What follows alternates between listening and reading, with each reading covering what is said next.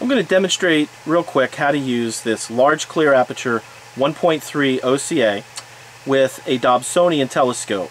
Now the T2 top, which is what this one has on it, instead of the universal for all binoviewers, the T2 is specifically for, for binoviewers like the Baader Mark IV Mark V with the quick connect ring, or the Televiewer Max Bright that has the gnarled rings that you basically just screw this directly into.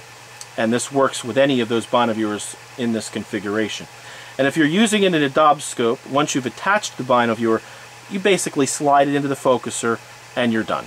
It's just that simple, nothing to it. And you're viewing at 1.3 times.